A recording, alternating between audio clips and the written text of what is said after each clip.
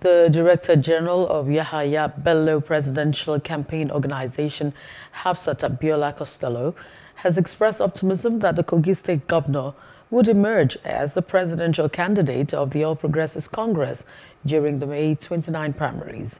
Hafsat Abiola, while submitting the nomination form for the Kogi State Governor at the, Inter International Conference Center in Abuja, expressed confidence that he would pick the ruling party's presidential ticket in the next few weeks.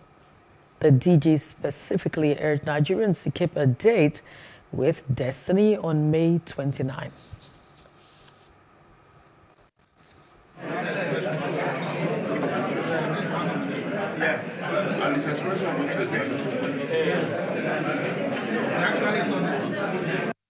Please do subscribe to our YouTube channel and don't forget to hit the notification button so you get notified about fresh news updates.